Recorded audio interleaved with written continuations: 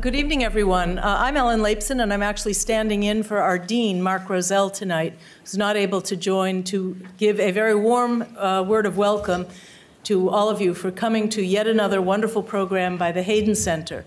And we're always thrilled to see the namesake and the uh, founder of the Hayden Center, General Michael Hayden, who's in the front row, and we're always thrilled to see you. And I think many of you have come to learn that these are really interesting conversations about very diverse topics, all of which have an intelligence angle to them, but are not exclusively about intelligence.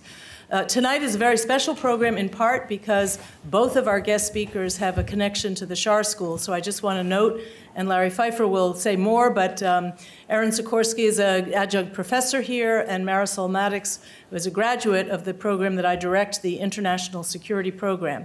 So we're really thrilled to have them back on the stage. We won't let them leave the Schar School, they'll always be part of it. Uh, and now it's my pleasure to um, introduce the man who makes all of these events happen, Larry Pfeiffer, who is the director of the Hayden Center.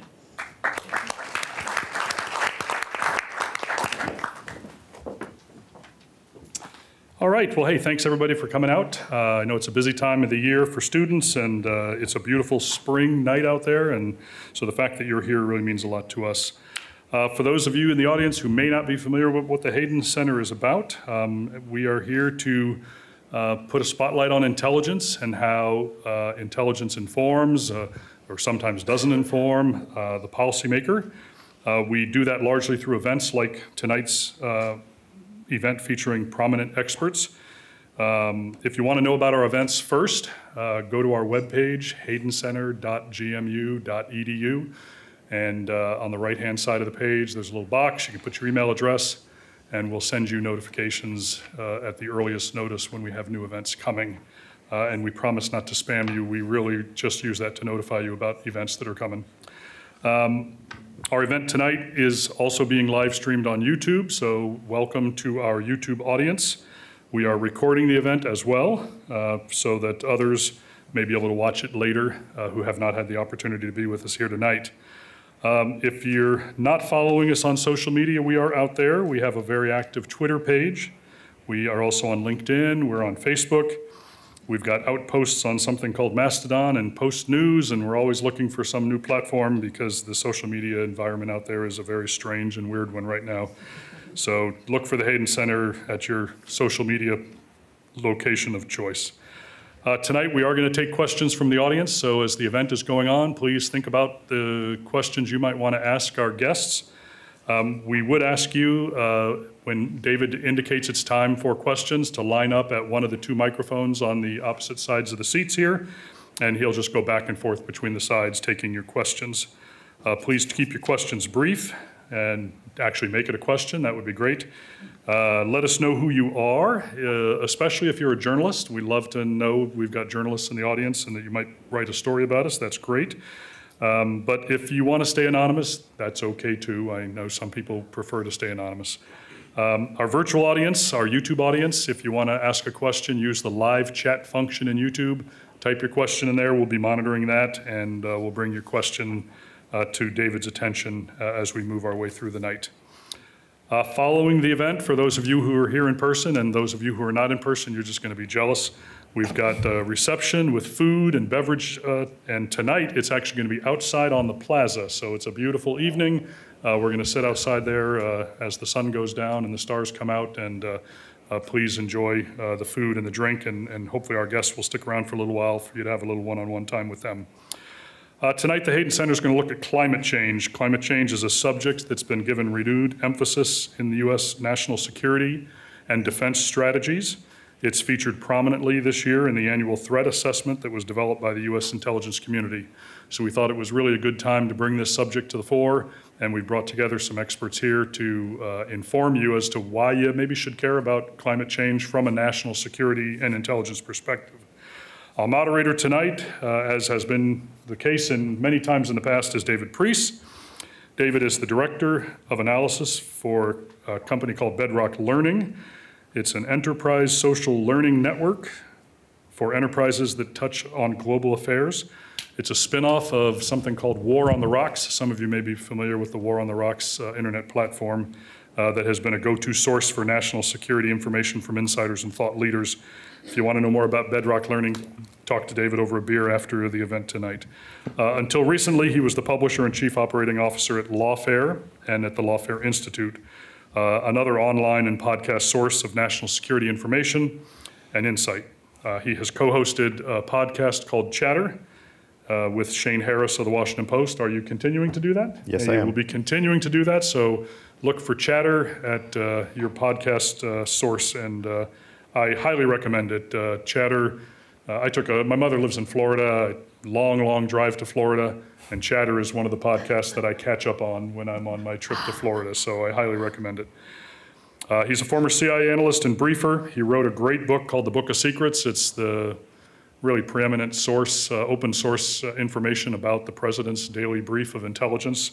Uh, Looks back at the history of that from the John F. Kennedy administration going forward. So if you've not read that book, go to Amazon, order it. You'll make him and his publisher very happy. Um, He serves as a senior fellow here at the Hayden Center and has been a visiting professor at the Schar School of Government as recently as last fall. Our panelists tonight, in the middle, we have Erin Sikorsky. She is the director of the Center for Climate and Security and also director of the International Military Council on Climate and Security. She previously served in the U.S. intelligence community for over a decade, um, most recently as the deputy of the Strategic Futures Group uh, on the National Intelligence Council. Uh, For those not familiar with that organization, you may be familiar with their premier publication, something referred to as the Global Trends Report, uh, that uh, does a forecast of the future. If you've never read a Global Trends Report, highly recommend you go to the National Intelligence Council website and read the last couple of them. They really uh, are fascinating and informative. Uh, In that capacity, she also led intelligence community analytic efforts on environmental and climate security. She is, as Ellen mentioned, an adjunct faculty here at Schar, so if there's a Schar student in the auditorium and you've not taken her class and you want to know about it, corner her afterwards, and I'm sure she can tell you about it. It's a pretty popular class. Uh, She publishes extensively uh, as well in all kinds of journals and publications. Uh, Here at the end is Marisol Maddox.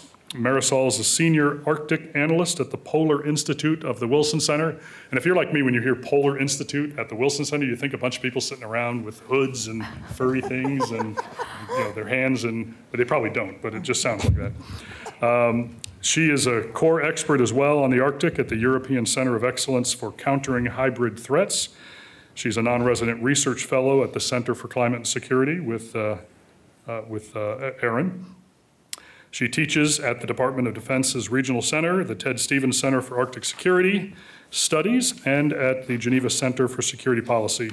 She is also extensively published on Arctic issues, uh, and uh, as Ellen mentioned, she's, uh, we're very proud of her uh, as a graduate of our International Security Graduate Degree Program here at Schar, and uh, um, evidence that uh, you can come to Schar uh, with an interest in a topic that there may not be a defined path forward, and uh, uh, the Schar School will work with you and define that uh, academic program with you to make sure uh, that we are meeting your interests and producing good future national security leaders. So with that, I'll turn it over to David, and thank you all for joining us. Thank you, Larry. We have no shortage of things to, to talk about, uh, so I want to jump in, but I'm not going to, because first I have to say thank you to both of you for, for doing this. Uh, you talked about a couple of the overlapping areas. Uh, obviously, here, the Schar School at George Mason is one of those that we share. Uh, you are two of my very favorite guests on the Chatter podcast, right here on stage. I'm actually kind of hurt that you haven't invited me to the Center on Climate and Security because everyone else on the stage is linked, so we'll have to correct that later. Uh, Erin, let's, let's start with you. We've got a lot of things related to climate and security we could talk about. Help us all get our hands around that. What are, what are some ways of, of organizing how we look at the intersection of climate and climate change in what we traditionally call national security studies? Sure. No, thanks, David, and thanks to the Hayden Center for having me. It's really a pleasure to be here with all of you. I know it's a beautiful night outside, so that you chose to be here. Um, I hope I hope we live up to your expectations. Um, you know, so uh, I worked in the intelligence community for a long time on a lot of things that were not related to climate change at all. And I, but I was leading teams that were supposed to look at risks of conflict, right, in East Africa and the Middle East. And climate and environment issues kept coming up again and again as drivers of conflict and instability. And I realized I didn't know a heck of a lot about how climate worked, how environmental risk worked, and, and but it was becoming more and more important. And, and so, I mean, a simple answer to your question is there isn't an issue in foreign and security policy that isn't going to be shaped in some way by climate change, right? You can't, you can't leave anything out. But if you want to organize it and think about it and, and think about the different ways in which climate shapes these risks, I usually put them in, into a few different buckets. Um, I start with the direct risks of climate change, right? And these are the risks that extreme weather events, whether it's you know heat waves, hurricanes, flooding, pose to U.S. in this case national security interests. That can be our military bases in places like the Gulf Coast when they get hit by hurricanes, like. Uh, they have previously that cause billions of dollars of damage, that interrupt uh, training and operations, wildfires in California that cause the National Guard to have to go and fight fires, interrupt training there, shut down bases. You can look at last summer across Western Europe, where heat waves and droughts caused the deployment of thousands of military troops to respond, right? So all of that falls in kind of the direct risk bucket. And we see these hazards coming more intensely and more quickly uh, than climate scientists even predicted. We're on the cusp of an El Nino uh, uh, climate pattern here, and if you've read the papers recently, scientists are warning about extreme heat in the coming year. That will all have direct security impacts to our security services and to our security infrastructure. But beyond that, the second bucket of risk, and, and, frankly, that bucket is, is the one that's easiest to deal with, right? The military, I would argue, and we can talk about this, I think is pretty on top of that and, and recognizes it and making investments to manage it. But the second bucket is where it gets a little harder. And this is when climate change shape layers on top of other existing threats, where it compounds existing risks within already fragile states within states already facing conflict, right? Uh, between states where you already have uh, high levels of mistrust or competition. Uh, and, and there are many examples we can point to here. The, the civil war in Syria is often used as the, the shining example of, of climate change, where you had a drought uh, on top of a highly divided society. It drove folks from rural areas into cities put a lot of pressure on those cities. The government wasn't able to cope and responded uh, with, with force. Um, but you can look at East Africa, right, where you've had a confluence of terrorist groups, of very poor governance, and then you've had drought, you've had locust plagues in recent years driven by climate that have all exacerbated the instability and conflict there. I think you look at what's happening in Sudan right now, frankly, and it's not that climate change is the key driver of what's happening there, but climate change is certainly playing a part in, in making that country and the people and the government much less resilient to other shocks, right?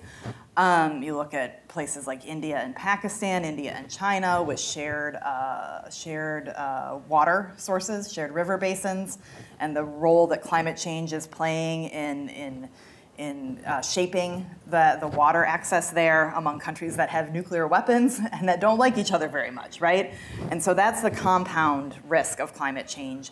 Uh, and I would argue that even there, we're, you know, the, the U.S. national U.S. intelligence community did a national intelligence estimate uh, in 2021 on the risk of climate change at the behest of the president. It's an excellent document. If you haven't read it, I would highly encourage you to do so. Um, but even that document, I would say, underscopes what the second bucket of risk because it really focuses on places that are already highly vulnerable, like the Sahel, like the Middle East. And I think these, these um, uh, instability and conflict risks go much further than that, frankly, as we look to the next 10 to 20 years.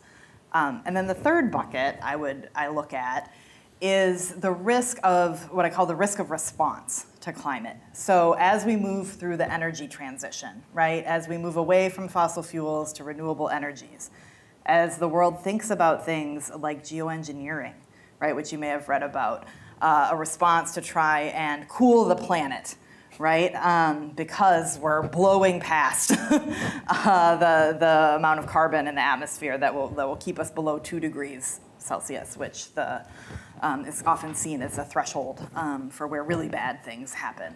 Um, as countries try to respond to climate change, that causes geopolitical risk, that causes um, risk of tensions between countries, strains within countries. It doesn't mean we shouldn't try to respond to climate change because the risks are very high, but it means that as we do that, that can cause uh, conflict uh, risk as well. And so all of these are things that the US national security community, the intelligence community, where I worked for a long time, um, should be front and center on their plates, frankly, because um, it, it, really, the, the baseline is shifting, right?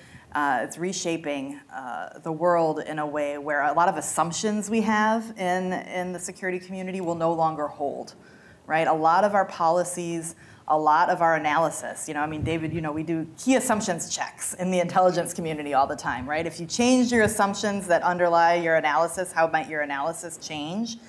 Climate is throwing out all sorts of, of key assumptions that we have. And I'll, I'll, end here just by giving one example. My first, one of my first jobs in the intelligence community was as an analyst on East Africa. And we were supposed to warn of risks of conflict and instability there. And we had a lot of assumptions about when insurgent groups in Somalia would fight based on when the rainy season was, right? And our, so our warnings to the president, our warnings to DOD were rooted in an assumption that we knew how the rainy season shaped they're fighting.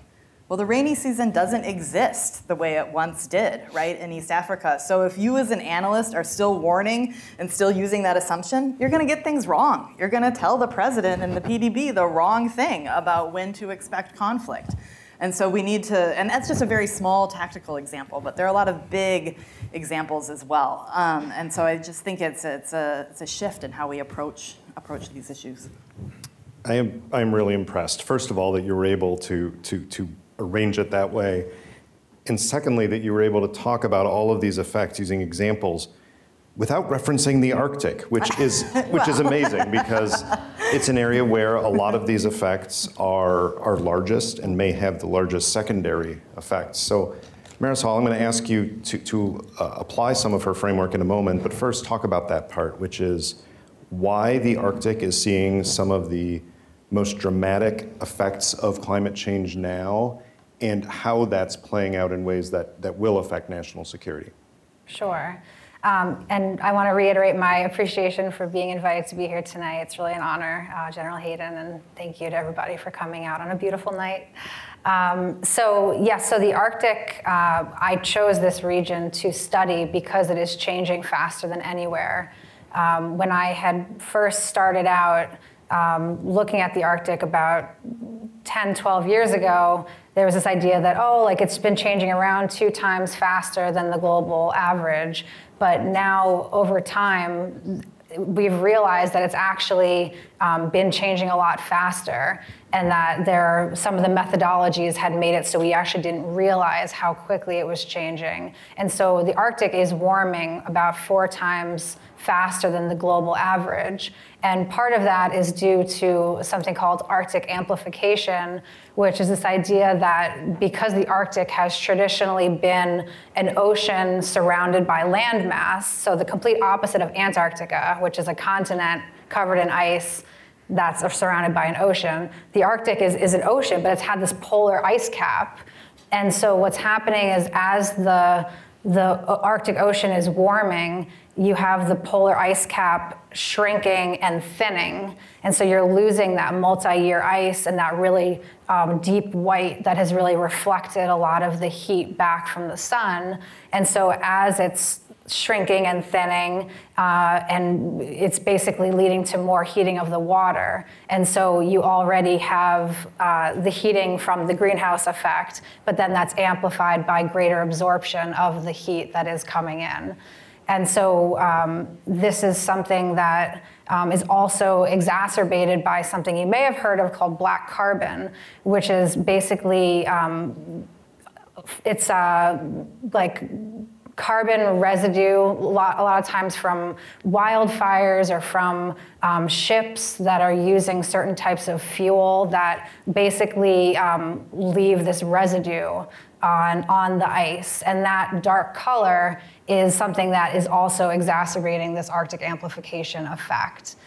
Um, and so as the Arctic is warming, um, we're having increased access to the, like above the north coast of Russia, there's the Northern Sea Route, which is becoming navigable for longer. And so Russia, especially since the, the full scale war in Ukraine, has really doubled down on the strategic importance of the Arctic elevating it within their maritime doctrine last year from the number three region of strategic importance to the number one, and is essentially sees its ability to realize the full economic potential of their Arctic zone as a national imperative.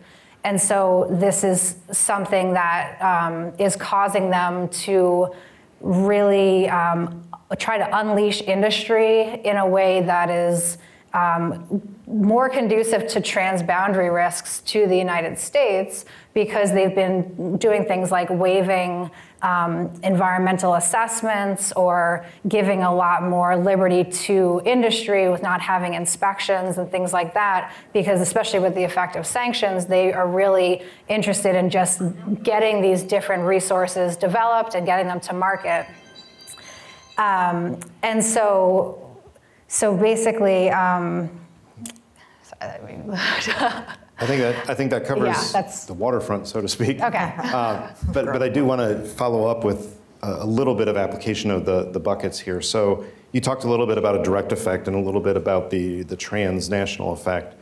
Um, but there's also that that mitigation circle that could come back. So I'm thinking as you're talking about uh, you know Russia, Russia, Russia because of the long coastline on the Arctic Sea. But you also have China declaring itself a near Arctic state and suddenly investing in icebreakers in a way, I think, still beyond the US Navy and Coast Guard. Uh, so, so you have geopolitical competition playing out in a region that uh, hasn't been done that way before.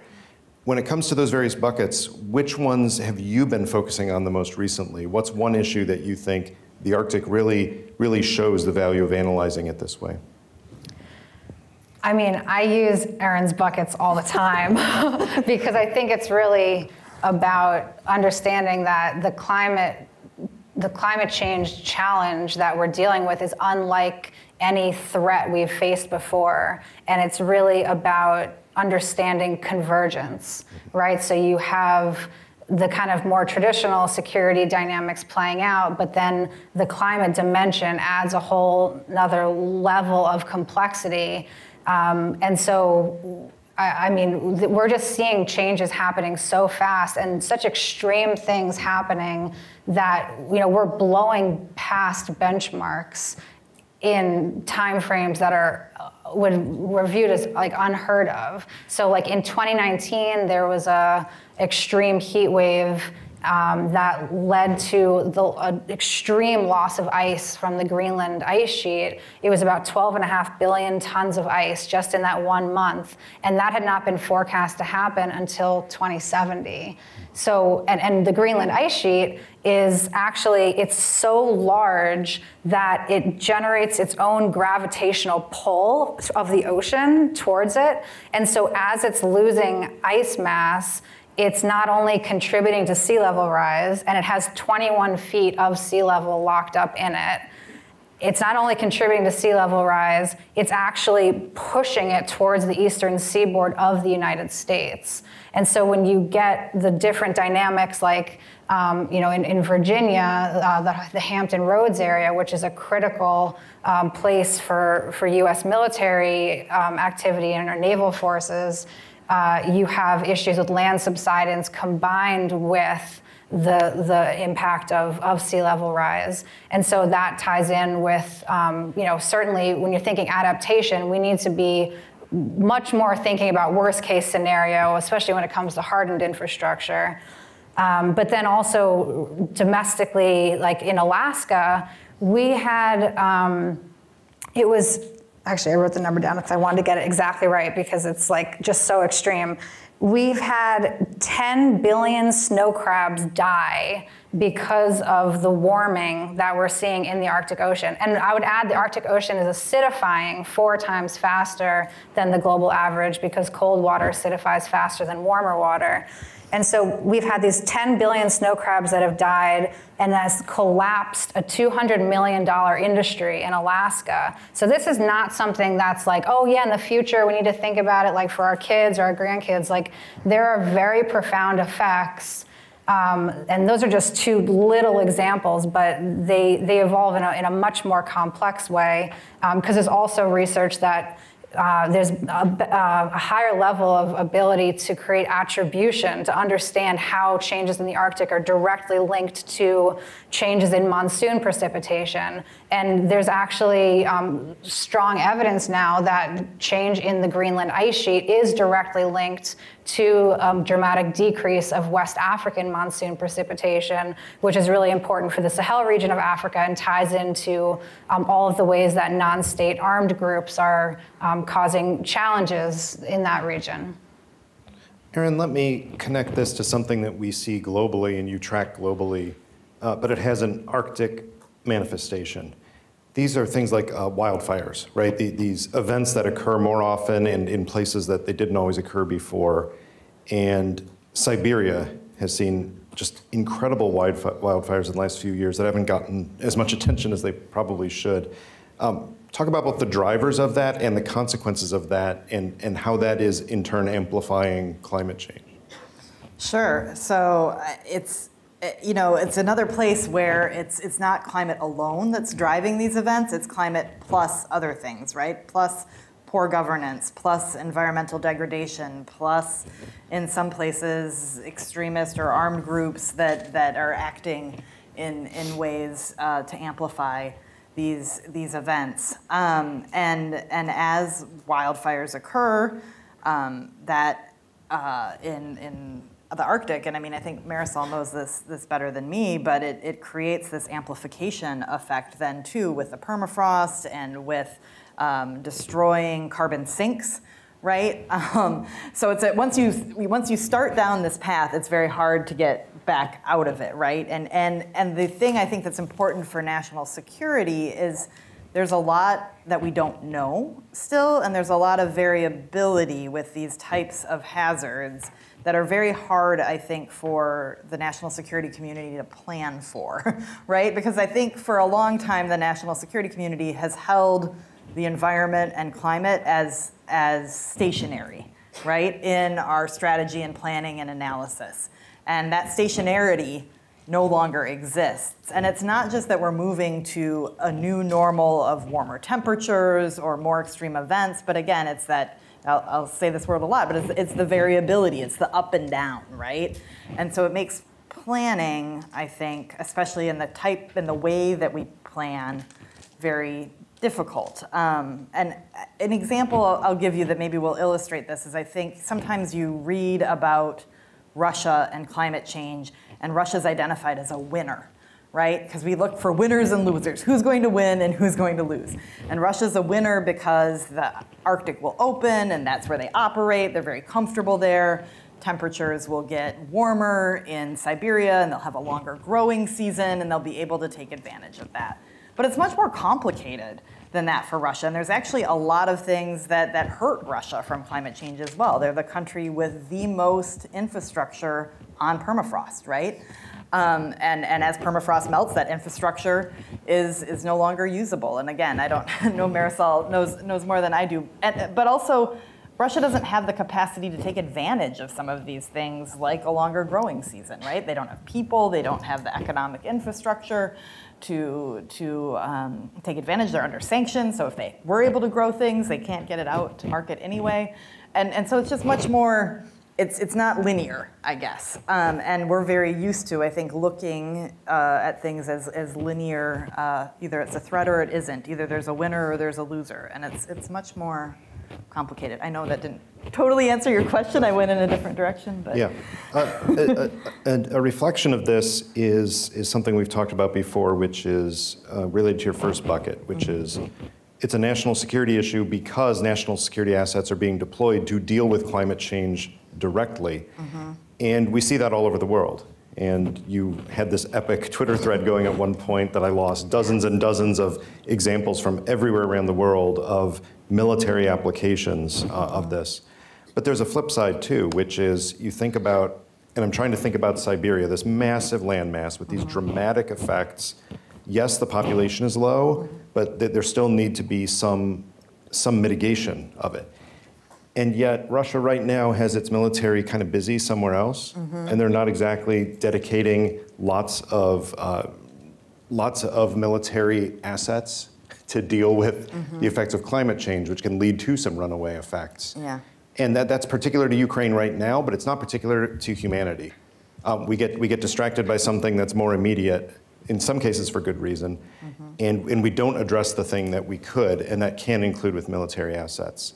So when you're thinking about this and, and, and how that's likely to play out, not just Ukraine, Russia, but overall the ability of us to dedicate resources where we need to collectively, how do you feel that's shaping up? And is it meeting your worst or your best expectations from a few years ago?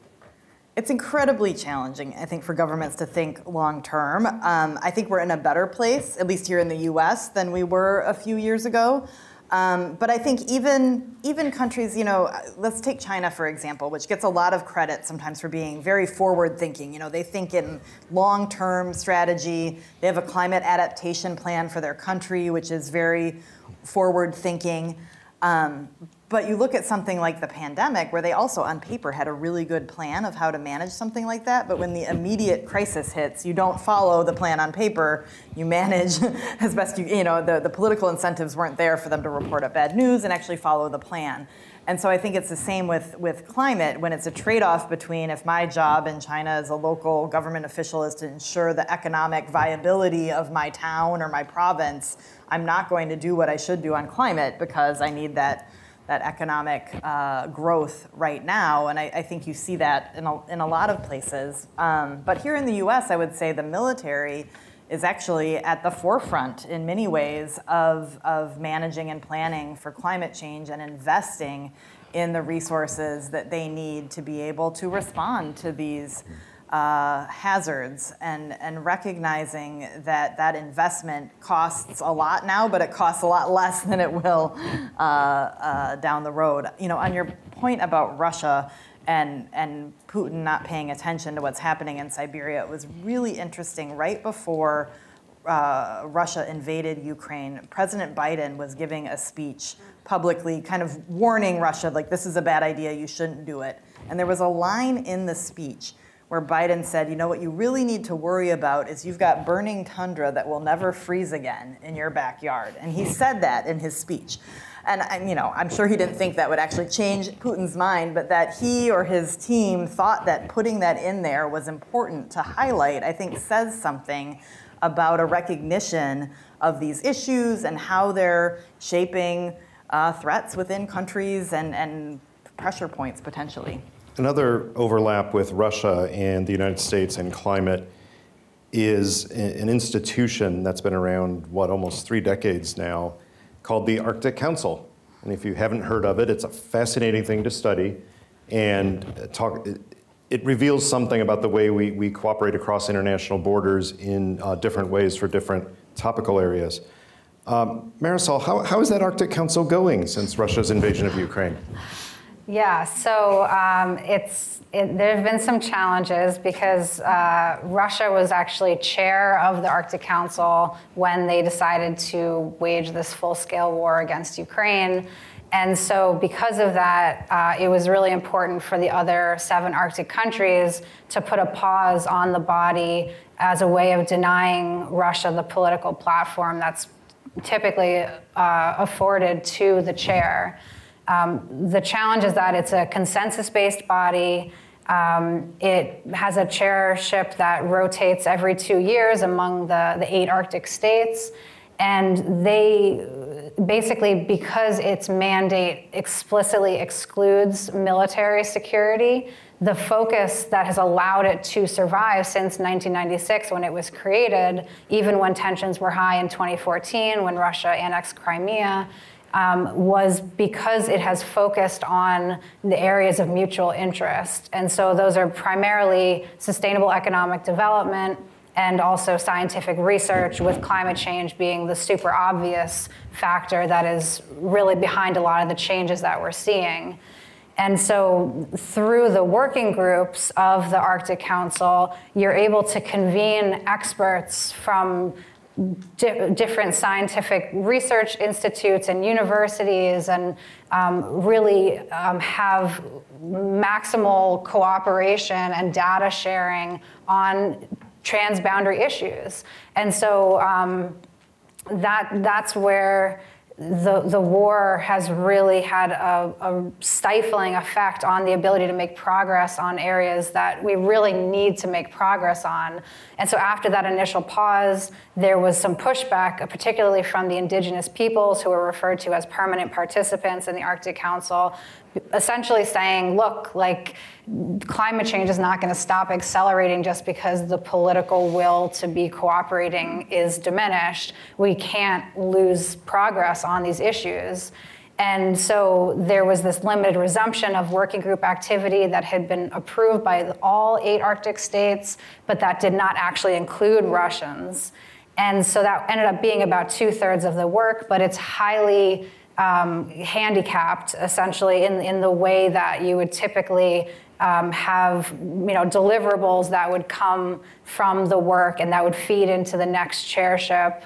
Uh, that process is very hindered. And there's even certain research that's been held up in peer review because of Russian scientists that are involved. Um, but but some of these are like very serious issues that affect not just the people of the Arctic who are at the front lines of change, but also issues that have potential global consequences.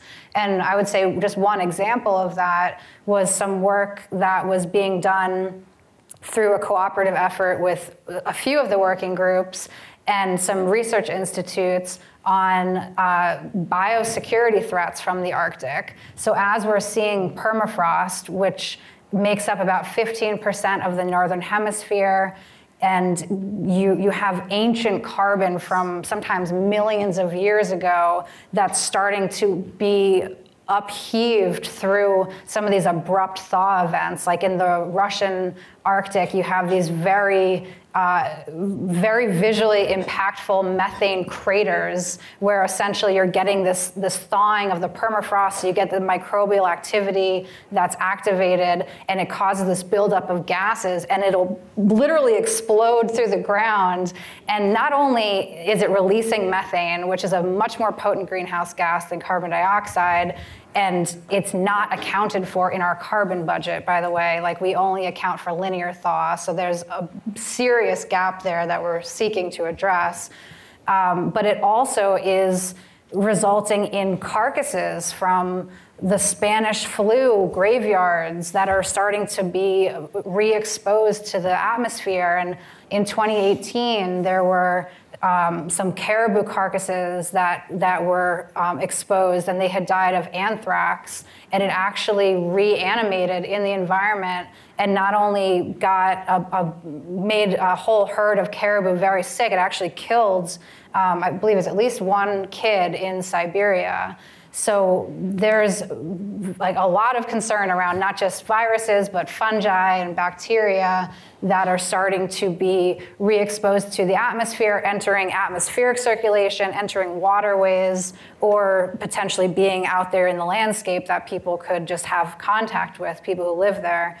Um, and obviously coming out of COVID, uh, or you know, kind of out of COVID, um, that the potential for future pandemics is really you know, top of mind. And so that was something that these working groups were seeking to develop better monitoring and indicators and better research collaboration that would help to uh, you know, reach the goal of preventing future pandemics and employing something called One Health, which is a CDC recognized concept that if we want to prevent future pandemics, we need to understand that human, environmental, and animal health are inextricably intertwined. And so we need to take a systems approach towards future pandemic prevention. So we've defined the problem pretty well. Uh, but let's talk about some national security solutions and ways of addressing this. Uh, Erin, you looked really closely at the national security strategy when it came out in what October of last year, and Larry, you referred to that up front. Um, talk a little bit about the national security strategy and what it reveals about the way that, for lack of a better term, the American national security establishment is framing and looking at climate change. Yeah, so I think the national security strategy is an example of the kind of approach to, to get to the solution space you're talking about, um, of how to think about climate as a security issue, because when you read the document, you see that, that climate is integrated throughout the, the report. It isn't just a paragraph tacked on at the end, you know, and climate change as a threat but instead it talks about how climate change intersects with the other big security risks that we're worried about China, Russia, for example, terrorism. Um, and it talks about how they intersect and how you can't think about one without also thinking about the other. Uh, sometimes when I deal with members of Congress, they'll ask me, they'll say, well, how do you rack and stack climate change as compared to all these other threats? Where does it fit on one to 10? And I often say very politely, but that's the wrong way of framing the question. Instead of is it more important than China, it's how does climate change impact competition with China? How does it drive Chinese national security interests? How does it create vulnerabilities for China? How might it create vulnerabilities for the US if we think about having to fight a war in Taiwan and if in a climate changed world? And that's, I think, the national security strategy did a really nice job and explicitly said, you know, this is as important and must be considered um, in, in, in parallel. It's one thing to say that, though, in a national security strategy. It's another thing to create a national security apparatus that can actually do that. And I think that's where, right now, with this administration and a lot of the agencies, you see a real their struggle. I mean, they, they want to be able to tackle this, but our, our systems are not set up in a way to really integrate a systemic approach, right? You're a China analyst or you're a climate analyst, right? you're not someone who, do, who does both necessarily. Um, and so building that integration um, and there are some, some uh, things I'm seeing that I really I, I like. The State Department has created uh, foreign service officers that are climate officers that they're putting in country teams and in embassies, which I think is the right approach. Um, you know, I see work happening in the intelligence community, DoD as well. All of the combatant commands are doing uh, climate wargaming. Uh, some of them have already done it. There are more, more to come, which I think is a really good first step. The next step to me is to not do a separate climate war game, but do your regular war games, but just put climate in there. Um, but a lot of it's workforce, I think, too. Like, who are the, what are the skills that people have that they bring to the table? I don't think you need to replace all our smart analysts at CIA with climate scientists, but you need smart analysts who are climate literate, data literate, and that know where to go to get the information. Um, the last thing I'll say here that I think we need to see more of too, and I, there are some pilots of this going on, is you need we need more co-creation between the, the federal scientific community and the security community. So it's not just enough to bring them together and get them talking, but I think in the analytic world, I'd love to see like sprint teams on some of the most serious climate security problems we have where you've got folks from the national labs, right, sitting down with really smart country analysts and, and really doing that analytic work together on, on these problems. Because as, as Marisol keeps rightly pointing out, it's a systems risk, right? And so you need to address systems risk, you need lots of different types of people in the room together tackling the issue. You know, that, that specific recommendation actually reminds me, Marisol, of uh, your recent paper. So if you, if you all haven't seen it, you, you will, because I know after this event, if not during the event, for those of you watching on YouTube, you're going to go to Google and search Polar Institute Intelligence Community, and you will find the paper that Marisol just uh, co-authored and published there, talking about what the intelligence community should be doing to address the intersection of climate change and national security and support the national security strategy and the tough choices that policymakers are going to have to increasingly make. Uh, that is one of your recommendations, in fact, to try to increase this partnership what are some of the other recommendations you make in terms of senior personnel, like a, a national intelligence manager for the Arctic um, issues? um, as well as some of the more practical issues of how to work at a person-to-person level. Yeah. Um, so the main issue essentially that we're trying to kind of problem solve for is again this idea of convergence where um, Erin has written really um, brilliantly about this idea of like climate as the shaping threat. So for, Ch- for the us china is our pacing threat. Climate is the shaping threat. And so we really need to be um, you know understanding that that level of how it intersects with all these other issues that we're dealing with. Um, and so one um, one recommendation and, and I think there, there is an, actually an example of, of where this maybe would have been helpful. Um, there had been a mandate from Congress for all US bases in the Arctic and subarctic to do an assessment of their exposure to climate risk. And essentially, there then was this Pentagon Inspector General report that came out kind of lambasting the bases for not doing it right and for really kind of thinking about climate change more as, as something like weather um, or energy.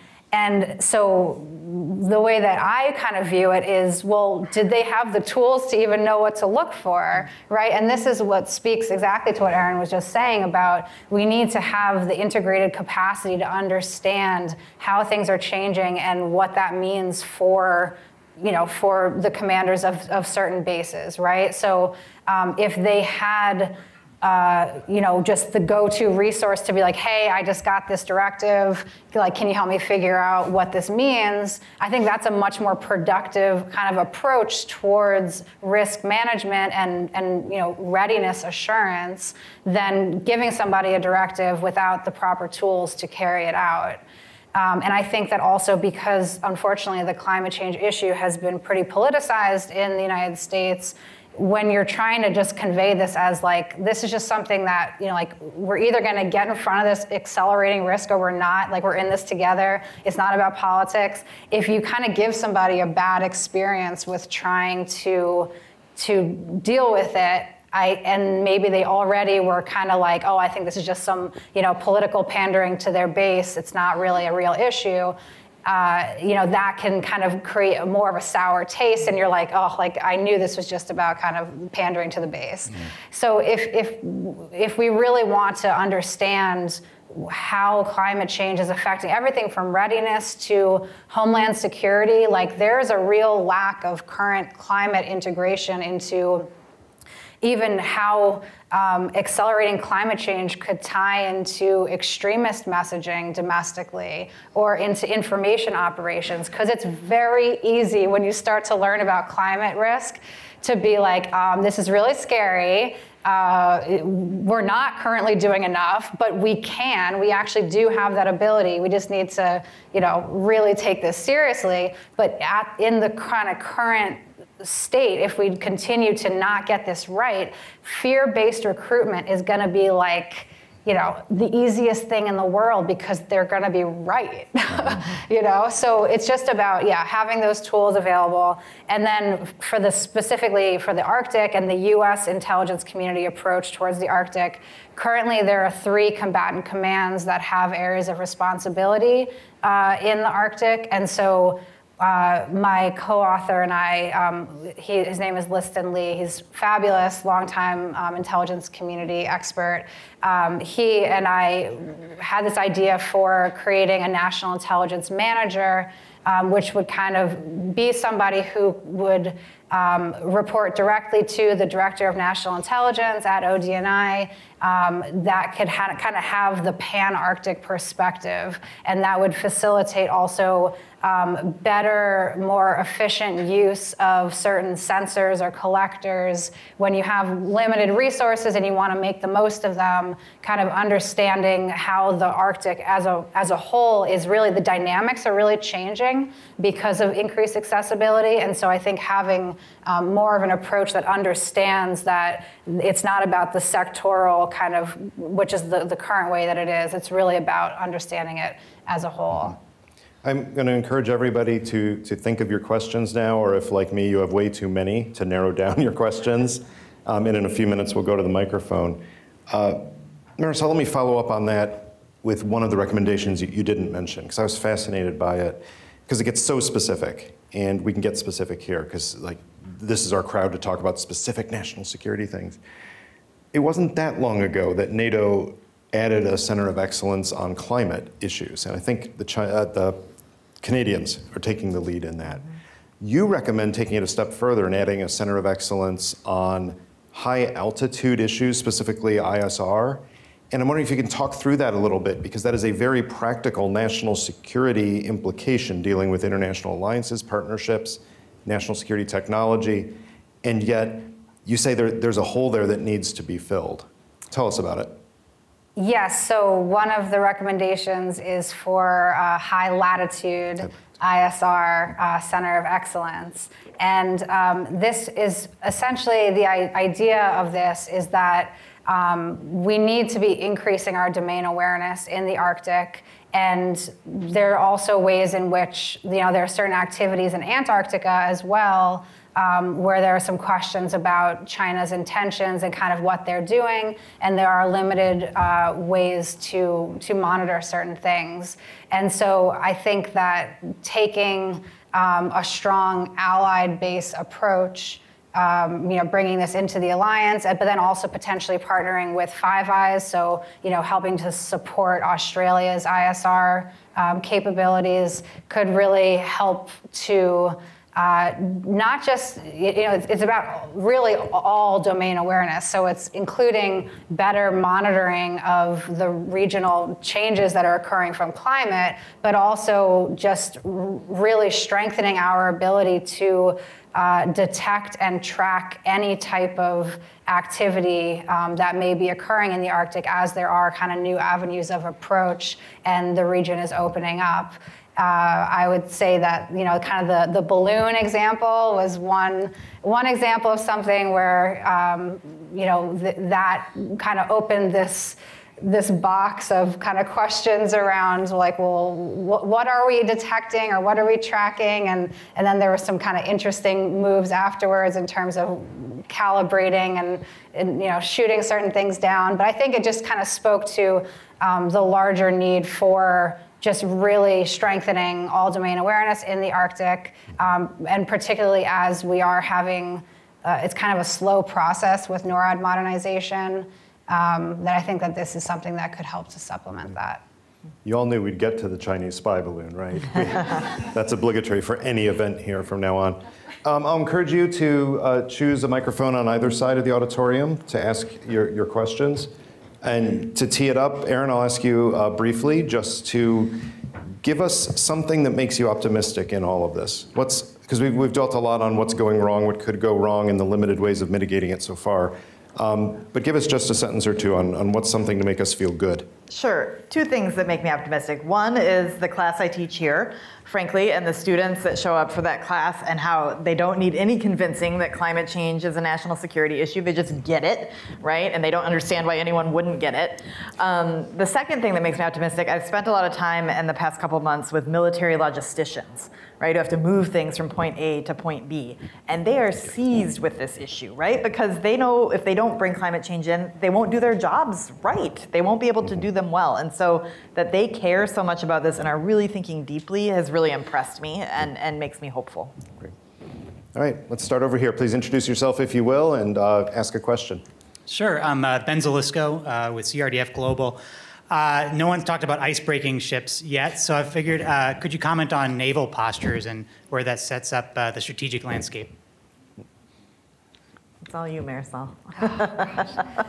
yeah, so uh, our icebreaker situation is woefully insufficient at best.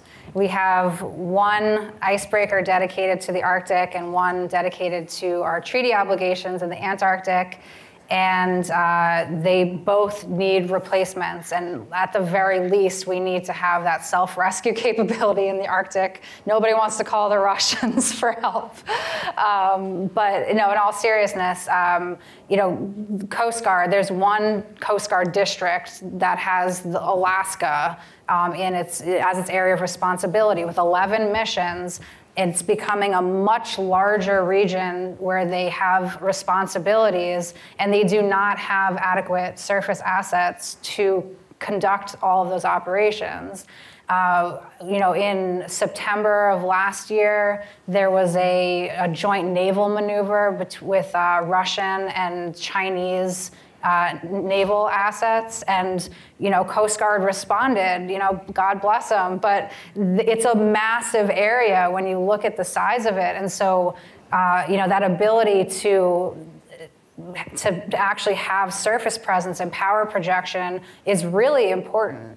Um, and that just kind of keeps getting sidelined. Even in the last omnibus, uh, there had been funding for uh, basically for Coast Guard to get Aiviq, uh, which is a, a something that could, an icebreaker that could be adapted to help Coast Guard um, at this time, but even it's really not ideal for, for the conditions that we're, we're dealing with. Um, but that, that funding like got cut overnight, just disappeared. So we were all like, where'd it go? Um, so it's just something that really needs to be prioritized. You know, we're looking at uh, like 2030 for the first re- icebreaker replacement, and that one's supposed to go south, not north. So we're going to have to figure something out because it's uh, it's a serious it's a serious issue. Thank you. Please. Uh, good evening. I'm Adam uh, uh, Adam Schultz, a student here at the uh, Schar School. Um, what emerging technologies would you say are most likely to have the greatest impact on climate change, whether that be positive or negative, and in what ways? Erin. It's a great question. I think there are a lot of interesting uh, renewable energy technologies um, that will have a positive benefit.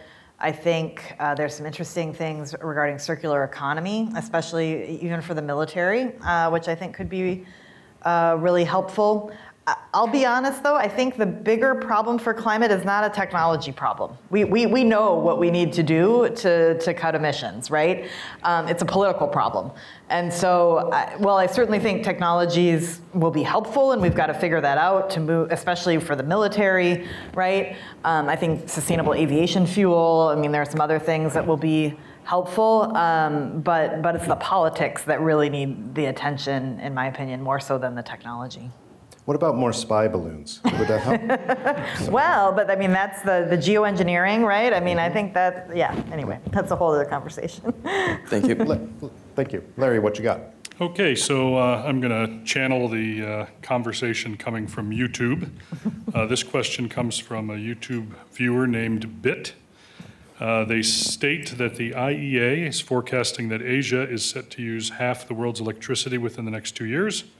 The Indo-Pacific region is also predicted to have the most economic and population growth in the world in coming years. Much of their reliance is still on thermal coal and other less clean fuels. How can countries like the US have an impact on helping to offset the volume of that challenge going forward uh, on climate impacts, particularly when further complicated by great power competition? Just that. That's not an Arctic question. Yeah, I mean, it, it's it's a good question and one that, frankly, a lot of groups have been been grappling with, with a huge amount of focus on India and on Vietnam and the other Mekong countries and, and China and how do you incentivize um, the the transition away. I, I think for the United States, I mean, when we think about our allies and partners in the region, it's a huge opportunity to have co benefits to the great power competition, right? If we can invest and help those countries invest in clean energy uh, and renewables, if we can help them invest in adaptation as well, because a lot of these countries are already uh, feeling a lot of the, the effects of, of climate, and, and they want that, that funding from us. I mean, I know Larry at the beginning mentioned the annual threat assessment. Um, the annual threat assessment this year highlighted something really interesting, I thought, on the geopolitics of climate change, where it warned that the growing divide between the global north and the global south over climate finance is a geopolitical risk right? And, and so I think if it's an opportunity for the United States to provide that financing not because it's the right thing to do, though it is, but because it, it helps us in the geopolitical moment that we're in. And it's how we're going to get those countries to move um, away from, from coal and things that are, that are uh, carbon intensive. Please, go ahead. Um, greetings, I'm Michael Hammerschlag. I'm a journalist and written about this stuff for 40 years. Uh, plus, I was a, a, reporter in Russia for and Ukraine for 15 years, and I've been to Murmansk twice. Um, you know, when do you think the uh, Arctic ice cap is going to break up. I mean, we expected that as early as 2016 or something, and I understand it's almost nothing now. It's 92%. You know, it's like maybe a half a meter to a meter, and and it's slush a lot of it. And uh, you know, what do you think? And and the effect of that's going to be like eight times greater heating on the dark dark ocean than the, the shiny ice. Um, and, and maybe you could talk about that, all these, about eight or nine huge feedback loops that are all coming into play, burning the, the peat um, reserves in Siberia, you know, these, these wildfires that are just like not gonna stop in Alaska and, and across the Arctic. Um, and, and how, you know, they'll affect it. Because, I don't know, I, frankly, I, I all this, the security stuff is all very, very accurate and smart, but it's you're just thinking way too small, you know, because it, because it seems like you know they're talking about once once every thousand year flood or once every thousand years, and then two years later another one's happening, and I think that's going to happen with COVID. This is this is like a, a shot across the bow, and it, it seems you know this warming is going to just cause like unlimited uh, pandemics. So. Let's, take, let's take that in the, the polar ice cap context. And then maybe also since you work at the Polar Institute, my understanding is there are two of them, that you could talk also about the Antarctic situation, because we haven't talked as much about that, but I think it's worth mentioning in contrast with the polar ice cap. Yeah, so um, the latest research I'm seeing is that we'll have the first ice free Arctic summers in about 10 years. Um, and you know, I get a lot of questions when people hear that. They say, "Oh, so like we can start sending ships up there," and it's like, I don't think you're understanding that. Like, a, if that's the case, you're going to have a lot of other very complex dynamics playing out in the rest of the world. Uh, and the second part of that is that as the Arctic Ocean is, yes, the trend is that it's becoming increasingly accessible, but unpredictability is really the norm in the near term because you can go out there uh, and it's ice free and you know you're like oh smooth sailing. And then overnight you can get this rapid ice up. And you just get these really dramatic changes in, in, in the state of the conditions that actually are a very uh, serious hazard to mariners. Mm-hmm. and so uh, there was actually i think one example that really speaks to kind of that disconnect between the russian language with um, when the like the ever given got stuck in the Suez Canal, that mega container ship, uh, you know, Russia was like, well, there is this northern sea route that you can just bring your ships up this way. And I mean, first of all, the northern sea route has depth and width constraints that would never allow one of these mega container ships that's made for that just on time economic model to even fit up there, right? So um, that's just it's it's not feasible, right? It had to be something that's a lot smaller. But also in um, the fall, uh, about a year and a half ago, there was about a dozen ships that ended up getting stuck in the Russian Arctic because of a late season freeze up in October. Like you're in the Arctic, this should not be surprising that you're going to get serious ice conditions. But because of Russia's rhetoric of, oh, it's going to be increasingly accessible for longer, uh, th- this was something that you know, I think it was a real wake-up call to the shipping industry about kind of the reality that, yeah, when we when you set out, uh, maybe it looks good, but those conditions change, and you can also get much more dynamic ice flow conditions as well. Um, so it, there's a lot of complexity to it. But I mean, you're, you're right that we're, we're seeing you know changes, uh, like I said, a lot faster than we had expected. And they're extremely complex. And prior to Russia's full scale invasion of Ukraine, it had been my deepest hope with working on this issue. I, you know, I did the international security degree here with a focus on transnational challenges for a reason that I view this as like the most, the, the greatest shared threat that we do all face. And I had been really hoping that it, it would be something that would be extreme enough to really have radical levels of cooperation. And then, of course, with Russia's invasion, you know, they've severely limited the ability to, to engage in that way. And we don't have time for it. So, but, but there are other things we can be doing, which we should be doing. Thank you.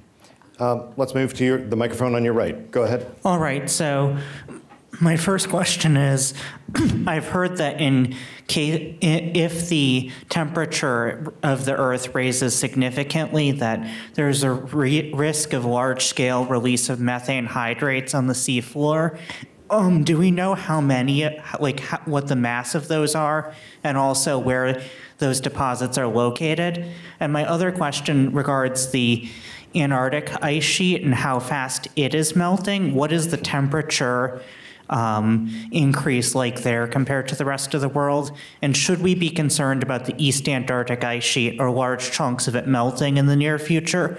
The most recent things I've heard have said, no, it'll only happen over thousands of years of sustained climate change. But people have said that before about Greenland and the Western Antarctic. So I wanted to make sure that the science has not changed and we don't have to worry about the East Antarctic ice sheet. Or maybe we do. Maybe we're all screwed. Who knows? Thank you. Um, I'll ask both of you to weigh in on this. So Erin, you go first. Well, I'm going to let Marisol. I, I'm going to admit on on the methane question, I don't have a good a good answer for you. That's a science question well beyond my my capacity. Okay. Uh, I'm actually working on a methane project right now, so I, c- I can answer that. Um, and the, basically, the answer is that we're still seeking to quantify, um, yeah, the methane hydrates and, and subsea permafrost in general. Um, so it's not something that we have a, a super clear understanding of, either in terms of exactly how extensive it is, but uh, certainly also the question of um, the timeframes that we're dealing with in terms of release. Uh, and this is something where uh, the, the permafrost issue in general it is basically like the, the carbon curveball for uh, international climate policy because our carbon budget has not included the emissions from permafrost thaw, and our models, our climate models, only include, and just in the last couple years, um, permafrost thaw emissions, but in only in a linear way. So it's not accounting for any of these abrupt thaw events, which um, Erin referred to earlier with some of the wildfires that are occurring in the permafrost regions. Uh, we're, we're, getting these things called zombie fires, which is when the the basically like the peatlands, right, and like the permafrost areas are ignited, and then uh, they actually like kind of smolder underground throughout the winter and then in the spring they'll reignite. And so none of these are accounted for um, in our current climate models, partially because it's very hard to quantify and very difficult to predict. Uh, but this is something that you know scientists are actively seeking to address.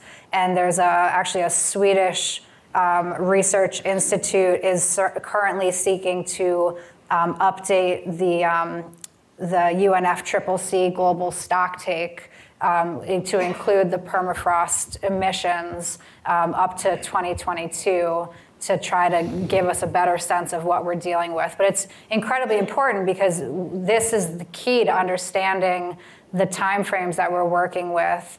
Um, and what we've essentially realized is that we're seeing higher levels of warming and change at, or sorry, higher levels of change at lower levels of warming. So this idea before that you could, you know, if we limit global warming to 1.5 degrees Celsius and don't allow it to pass two degrees Celsius, we should be okay, that's out the window.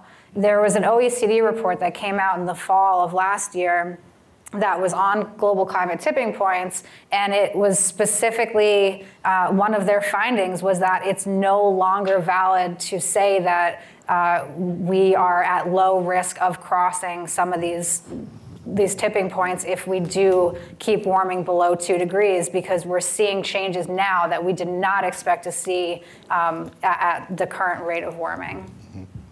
And I, I don't know about Antarctica. I, I do the north, I don't do the south. Well played.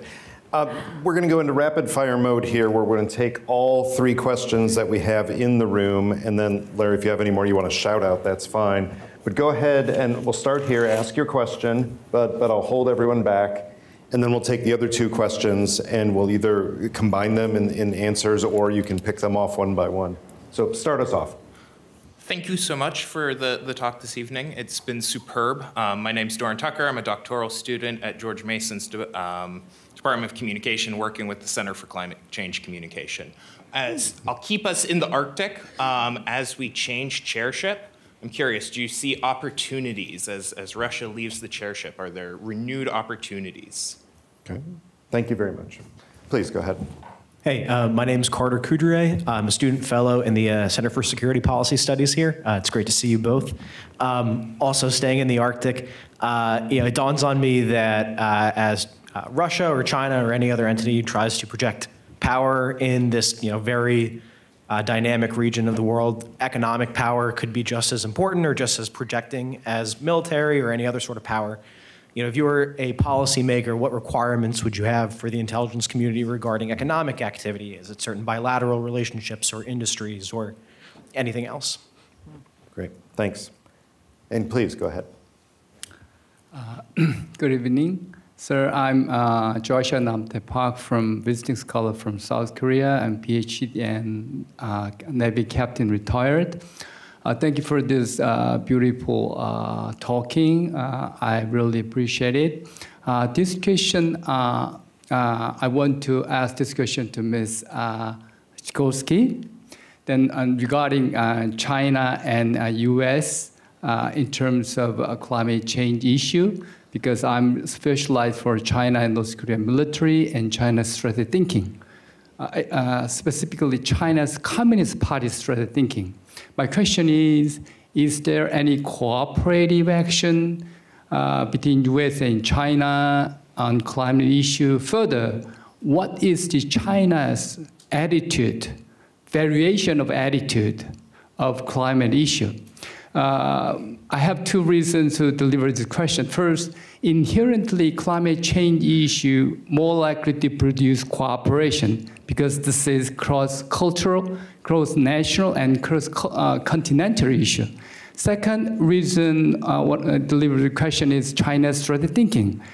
China's Communist Party, they try to more likely to cooperate when they are weak and they, when they are disadvantaged of some situation. And in fact, they had two uh, cooperation uh, uh, in the process of revolutionary war with KMT led by Chiang Kai-shek. Then they had been very successful and finally overcome. Then, then I think that uh, that's the reason I want to deliver this question regarding China. Thank you. Thank you. Thank you all. Uh, Marisol, I'll start with you with the first Arctic question, maybe the second. So the Arctic Council, the chairmanship changing, and then if you want to take on what uh, IC requirements could develop regarding particularly economic activity in the Arctic. Yeah, so um, with Norway taking the, the, chairship tomorrow from Russia, God willing, um, th- basically so, I mean, if anybody can do it, it's Norway because they've had to deal with Russia as their neighbor for a very long time. So I feel like they are best positioned um, to, to kind of be grappling with this challenge. So far, it does seem like the turnover will happen. On April 14th, Russia handed over the scientific, um, the, the, the, tools to coordinate scientific research um, through the Arctic Council to Norway. Um, but the, the challenge is essentially that up until like now, with Russia being the chair, even though the, Arc, the seven other Arctic states uh, had paused their activity with Russia, Russia has had this kind of alternate universe of their chairship a calendar where if you look at it, it's full of events and they're, you know, saying that, oh, we're, we're meeting about this now and our chairmanship is going super well. And their ability to kind of keep up the facade is going to go away because they will no longer have control over the calendar. It's going to be Norway's. Um, so essentially we're going to be dealing with, with a couple things here. So one is going to be what the, the seven other Arctic countries are willing to do with Russia. I don't expect that we will be uh, looking to re-engage with the Russian government in any meaningful way. Even the chair, the um, ministerial tomorrow, normally it's like the foreign ministers or the secretary of state that will attend. And it's been demoted to essentially just civil servants uh, that are there to procedurally go through the motions to, to hand over the, the chair. Um, but so, you know, the, if we're able to continue some level of cooperation at a very technical level, that's very boring. I think that is the best way to do it because it won't attract kind of the, the media attention that would make it look like, oh, wow, like they're re engaging with Russia. Like, in no way can there be any concessions to Russia as things are still escalating in Ukraine. That would be completely inappropriate. And Russia needs to see that there are costs to their actions when they do something like violently invade a peaceful neighbor. Um, and let me ask and, you also, do you have any yeah. quick thought on the intelligence community re requirement question? Yes, okay, but I'll just quickly add that the, the next piece is basically going to be Russia's response, right? Russia has agency. And so the extent to which they recognize that it is actually in their interest to maintain this Arctic 8 construct. And so they likely will demote Arctic Council uh, you know, it, its importance to them and kind of look elsewhere to be getting a lot of the work done. Mm. Um, but but that speaks to Russia's concerns about opening up the floodgates in terms of who, if they did disrupt that Arctic 8 construct, who could argue for a larger role in the region. It's not just China, it would also be like the European Union, which has been seeking to, to strengthen its role in the Arctic as well, which Russia does not want. Um, and then the point about um, you know things around economic activity in the Arctic. After taking Dr. Louise Shelley's class here on transnational criminal organizations and illicit trade, 100% I would say transparency and anti-corruption because the transparency um, piece is just so key to preventing uh, financing of groups that are completely undermining climate policy and uh, other types of policies that are, you know, we need to have confidence that if enacted, certain policies are going to get us to where we need to go. And if there's distortions around that because of things around illicit finance and groups that are undermining those efforts, uh, that's a real problem. So I think much more concerted uh, effort into that because especially with Russia being so weak with their official policy of parallel imports, uh, with just the history of transnational criminal organizations in and through Russia, that's going to be a really big issue um, in, in the Arctic, especially if we have high LNG prices. Erin, well, we'll close with you. Uh, any thoughts on those, but particularly on the China-U.S. issue? Sure. One thought on intelligence requirements uh, in the Arctic. I think for both Russia and China, they do not have a bright line between military activity and economic activity the same way we do in the US. So if I were asking questions to the intelligence community, I would want to know about their gray zone activity, right, and, and what might be cover for something else. On the China question, I think it's a great one, and I'm really glad you asked it. I think it's really important for the United States to understand how China itself views climate change yeah. and how it views it as a risk, right? And I think China does view it as a risk, right? You look at their climate adaptation plan, you look at things President Xi has said, they recognize that they're vulnerable, right? And that's going to drive their behavior much more so than what the US does or doesn't do on, on cooperating with them in climate. I think in an ideal world, yes, I would like both the United States and China to publicly cooperate and say this is a top issue. But I think China's going to tackle its own emissions only when it thinks that it has a, it's in its national interest to do so. Uh, we did a paper last fall on China's climate security vulnerabilities, which again, I just think we in the US need to spend a lot more time understanding how China itself thinks about this and then use that in our engagements with them on, on the topic to drive change. And I do think that even in a world where China and the US aren't cooperating, which frankly is the world we're in now, that doesn't mean we can't still make progress on, on the climate issue. And we need to be thinking creatively about how we continue to move forward on, on climate, even uh, in this competitive environment. Thank you. Larry, over to you. All right, uh, thank you to our two great panelists. Um, This, th- th- this was a conversation we've been wanting to have for some time here at the Hayden Center, so I'm glad we have finally done it. Um, uh, You know, if you think of the future of national security, there- there's, as, as Erin suggested, every aspect of our national security is going to be interwoven with how we respond and react to the climate issues that we're dealing with. So um, to close, uh, re- reception outside on the plaza, please do join us. Plenty of food, plenty of drinks. Um, The next Hayden Center event, uh, still a little tentative, but uh, I think I can go ahead and, uh, and announce that uh, uh, on the 30th of May, so it'll be, you know, right after you get home and shake all the sand out of your, you know, sandals after being at the beach or something. Uh, The 30th of May, we're going to host the Director of the Defense Intelligence Agency, uh, Lieutenant General Scott Berrier, for a conversation about uh, uh, DIA, its mission, its uh, focus, uh, his his tenure at the agency, which will be coming to an end sometime this year. So uh, please be on the lookout for notifications about that. Hopefully, we'll get some notices out that, out out on that in the next few days, and hope you can join us for that event. Thanks, everybody, for joining us, and good night. Thank you.